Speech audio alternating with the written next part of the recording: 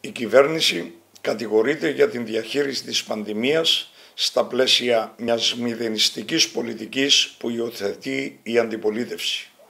Οι αριθμοί, οι στατιστικές αλλά και τα αποτελέσματα απαντούν με τεκμηρίωση στην μηδενιστική πολιτική της αντιπολίτευσης. Από την αρχή της πανδημίας η Κύπρος είναι η δεύτερη σε χαμηλό αριθμό θανάτων με 37,6 θανάτους ανά 100.000 άτομα. Η Κύπρος είναι σήμερα η πρώτη χώρα σε διαγνωστικούς ελέγχους COVID-19.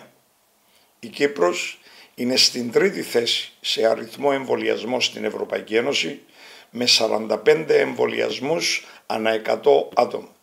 Συνολικά έχουν γίνει 412.768 εμβολιασμοί και έχουν λάβει την πρώτη δόση 314.163 άτομα, ποσοστό δηλαδή 42,5% όταν ο μέσος όρος στην Ευρωπαϊκή Ένωση είναι 34,9%. Παράλληλα, έχουν ολοκληρώσει τον εμβολιασμό τους 98.605 συμπολίτες μας, ποσοστό δηλαδή 13,3%. Την τελευταία εβδομάδα έχουμε μικρότερο από 1% ποσοστό θετικότητας που μας κατατάσσει στις πέντε καλύτερες χώρες με το χαμηλότερο ποσοστό στην Ευρωπαϊκή Ένωση. Και όλα αυτά όταν η χώρα μας έχει τον λιγότερο χρόνο lockdown σε ολόκληρη την Ευρωπαϊκή Ένωση, τόσο σε έκταση όσο και σε διάρκεια. Με εξαίρεση τις δύο εβδομάδες της περίοδου του lockdown, οι τομείς της οικονομίας είναι ανοιχτοί.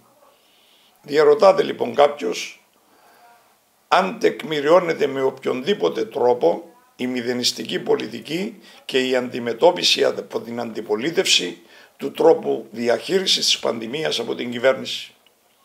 Είναι δυνατόν και ο πλέον κακόπιστος, βλέποντας αυτά τα στοιχεία, να συμφωνήσει με τους ατεκμηρίωτους και αναλυθείς ισχυρισμούς της αντιπολίτευσης; Κατανοώ τις, τις σκοπιμότητες σε κάθε εκλογική αναμέτρηση, όμως την ίδια ώρα θέλω να δηλώσω πως ο μηδενισμός και ο λαϊκισμός αποτελεί περιφρόνηση της ορθοκρισίας των πολιτών και τους μόνους που πλήττει είναι όσους μετέρχονται ανάλογες μεθόδους.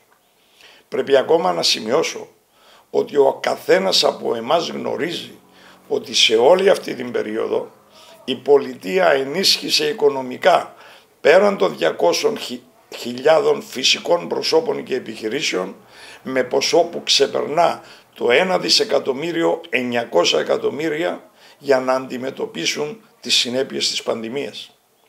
Είμαστε αισιόδοξοι για το μέλλον.